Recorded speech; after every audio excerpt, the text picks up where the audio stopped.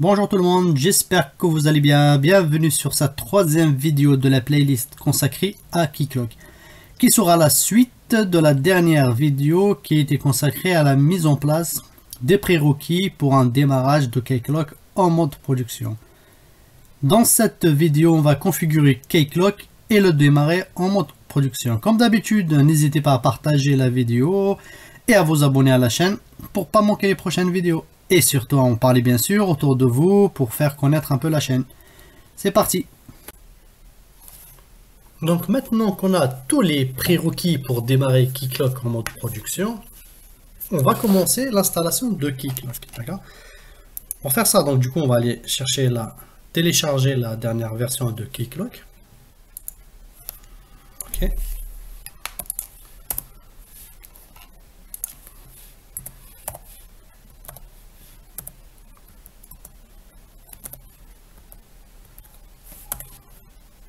On va dans le site téléchargement. on va prendre la distribution Quarkus, d'accord? Donc c'est celle-là, qui est en version 19.0.2, à l'heure où je fais cette vidéo. Je télécharge. Ok, donc le téléchargement a fini. Je réduis, donc je peux quitter. Je vais dans mon dans l'autre, je l'ai ici. Donc je vais dézipper tout ça. Ok. Donc j'ai bien ce fichier là.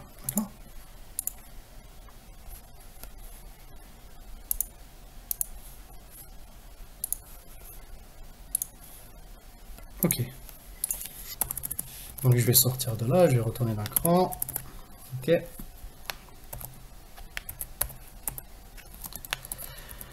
Je vais dans mes téléchargements. Ok. Maintenant, ce que je vais faire, c'est de copier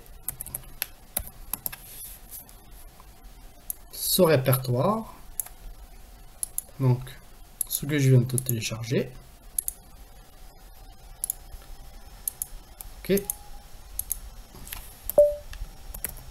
Je vais le mettre dans OPT. D'accord Ok, ouais, c'est un répertoire, donc il faut faire du récursif. Ok. Bon, faut que je fasse un sudo. Ok.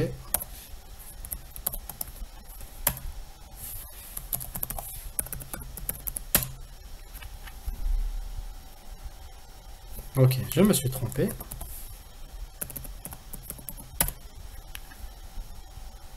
Ok, ça m'a l'air bon. Maintenant, bah, je vais nettoyer. Je vais cd opt. voir ce qu'il a bien copié. Ok, là, je l'ai. D'accord Donc maintenant, ce que je vais faire, là, je vais rentrer dedans. Je vais voir que tous les répertoires sont présents. Voilà, première chose que je vais faire, bah, moi j'ai décidé de le mettre ici, mais on peut le mettre ailleurs. Hein. C'est juste de faire un mkdir tls. Ok, bah, faut toujours mettre le sudo. Ok, Maintenant, j'ai mon TLS. Je vais ouvrir un nouveau.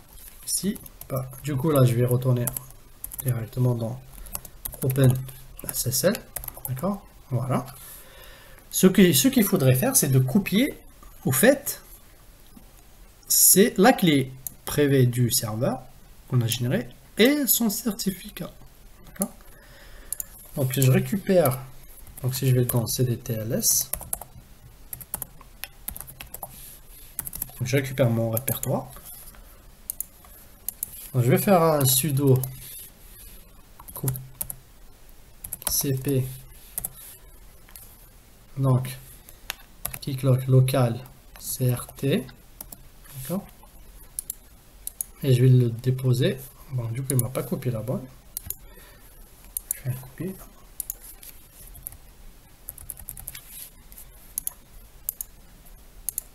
et je mets dans ce répertoire.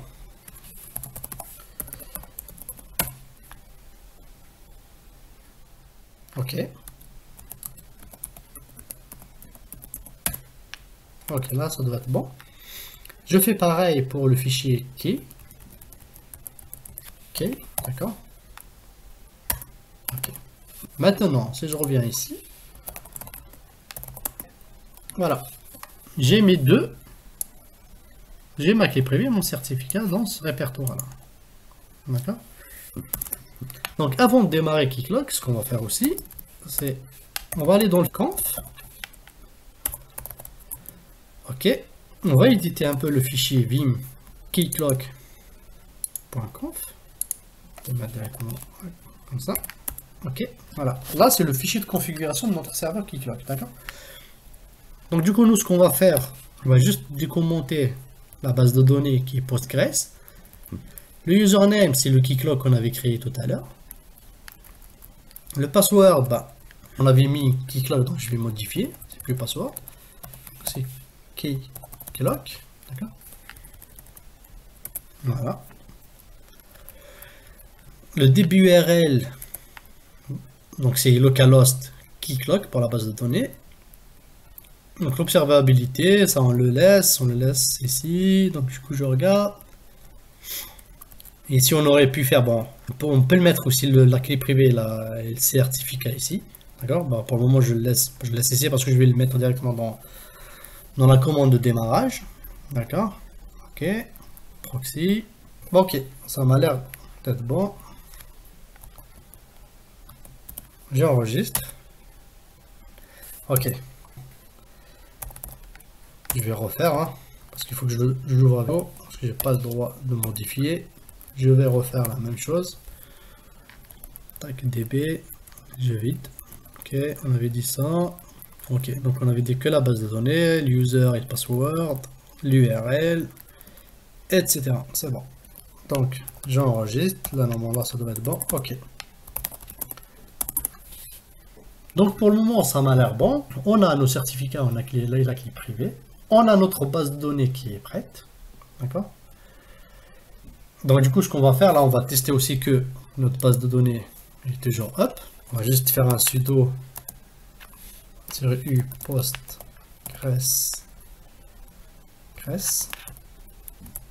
psql ok c'est bon c'est juste une vérification je quitte Ok, maintenant, ce qu'on va faire, là, on va démarrer Keycloak, d'accord On va le démarrer en mode production et on va voir est-ce qu'il démarre ou pas. D'accord Si on a bien fait les choses jusqu'à maintenant, logiquement, il devrait démarrer. D'accord Donc, pour faire ça, bah, je retourne ici. Ok, je peux me mettre ici, sinon je peux me mettre aussi dans le bin. Mais par contre, bah, je peux faire directement bin. On va faire directement un sudo bin. Donc, le fichier qu'il faudrait démarrer, utiliser, c'est le kcsh start. Donc, tirer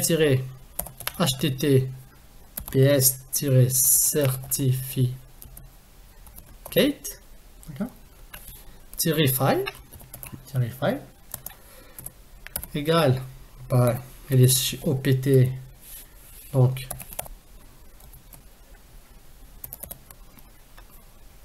keycloak 19.0.2 slash tls slash. On avait dit qu'il s'appelait keycloak point local d'accord? Point crt d'accord? Tirer https tirer donc certi Kate. Key file. Égal.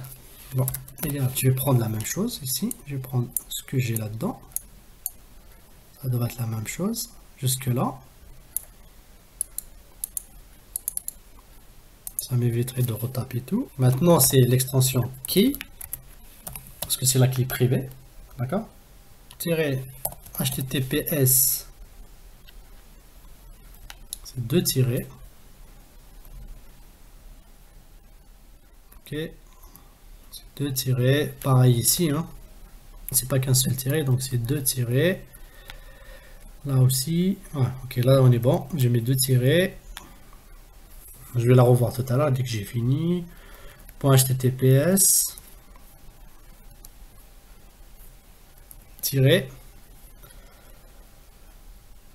Maintenant, on va mettre les protocoles TLS qu'on devrait prendre en considération. D'accord, protocole, protocole égal. on va prendre le TLS. D'accord, V1.3, 1.3, virgule, TLS V1.2. Ok, tirer, tirer. Maintenant, je vais mettre mon hostname. Hostname. Là, je viens de me rappeler que j'avais oublié de faire un petit truc. Donc, on va refaire. Hein. Bon, je continue, mais voilà, avant que j'exécute cette commande-là, il faut faire un petit truc. Host. Hostname égale key clock point local deux petits points 8443 ça c'est le port d'écoute. En HTTPS d'accord?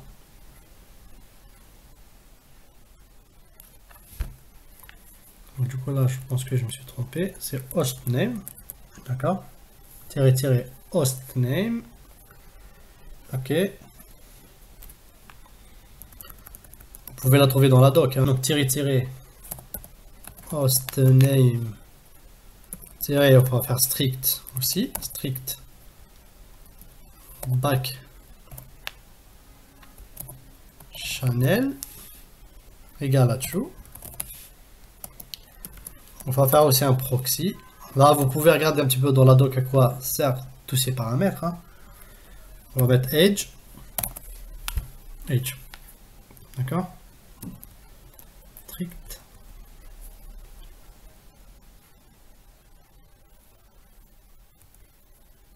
Ok. Donc moi, avant d'exécuter, je vais juste prendre cette commande-là. Je vais la copier. Je vais apprendre un gedit.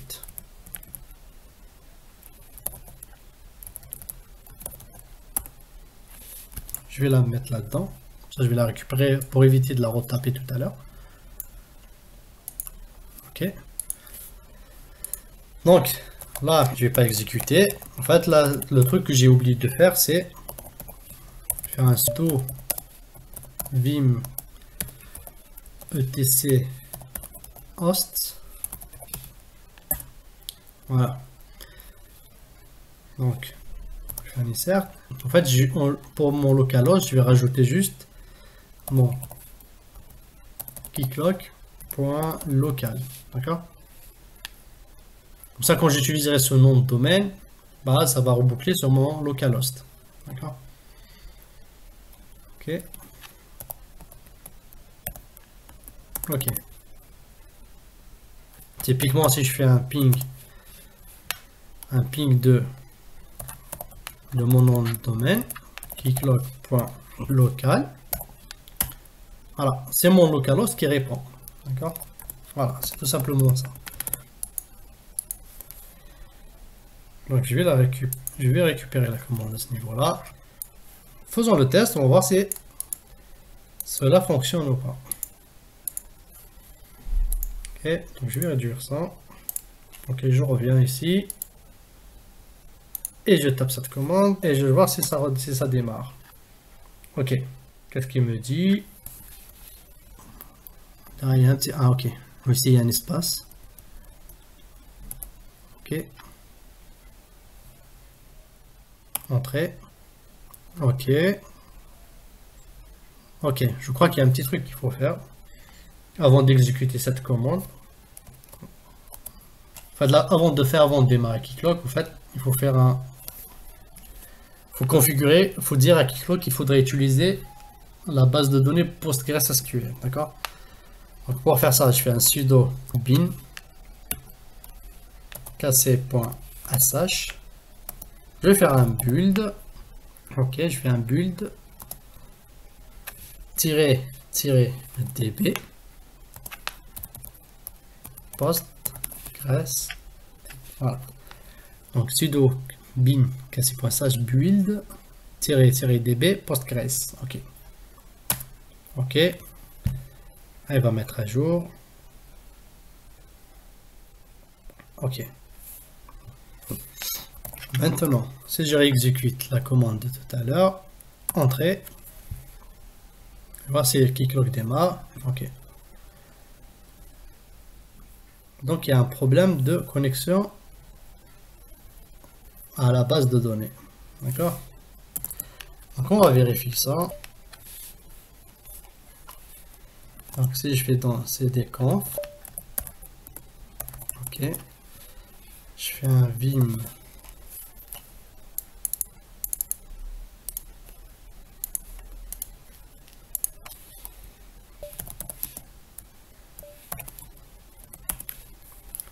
Ok, voilà. en fait, le problème était là, en fait. J'ai pas j'avais pas modifié le... Au départ, je l'avais modifié, mais quand j'ai essayé de le modifier en utilisant le sudo, j'ai pas modifié le mot de passe. Donc, ça va être keyclock, d'accord? Ok. Là, normalement, ça devrait passer. Ok. Donc, il y a une erreur ici aussi. Ok, là normalement ça devrait être bon pour cette fois-ci. Voilà, bon je nettoie. Je redémarre.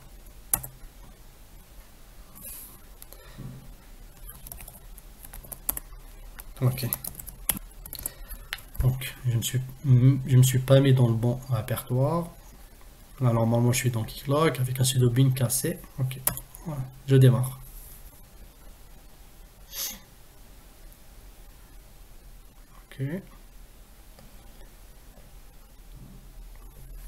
Bon, il m'a l'air de démarrer. D'accord Maintenant, ce qu'on va faire, on va essayer de se connecter à Keycloak.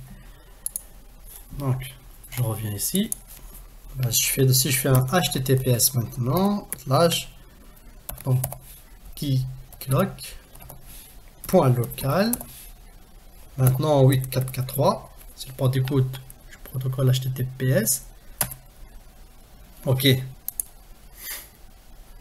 Le certificat qu'on a généré, on l'a signé avec une autorité de certification qui n'est pas reconnue par nos navigateurs.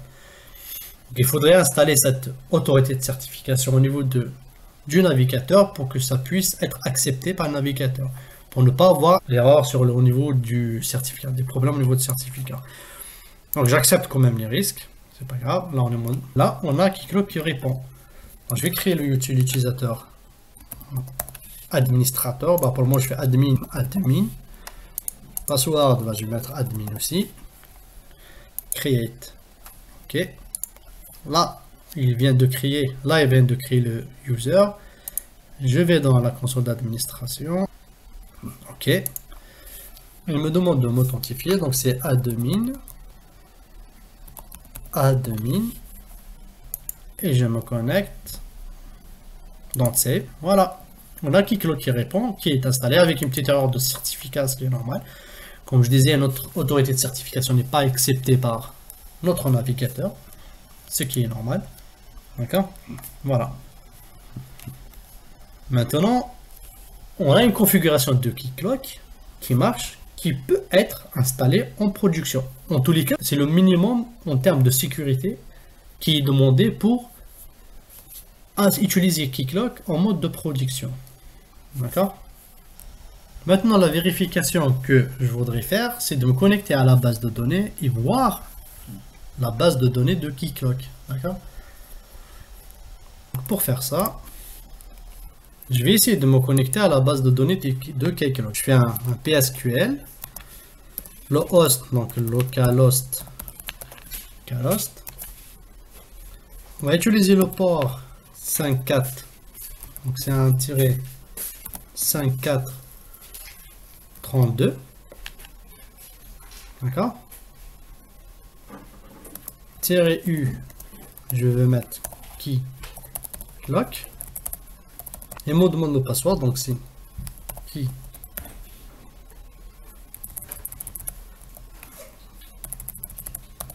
qui clock. Ok, donc je me suis connecté. Maintenant, je vais regarder L la liste des bases de données qui est là-dedans. Donc, on va se connecter avec Keycloak, d'accord? On va faire PC Keycloak. Ok, maintenant je suis connecté à la base de données Keycloak. Et si je fais un TT, voilà, on a toutes les tables de Keycloak qui ont été créées dans, dans notre base de données Postgres SQL. Voilà, c'est tout pour cette vidéo sur le démarrage de Keycloak en mode production. J'espère que cette vidéo vous a plu et dans tous les cas, bien sûr, n'hésitez pas à commenter, à liker et à vous abonner, à partager la vidéo. Je vous remercie et je vous dis à très bientôt pour de nouvelles vidéos.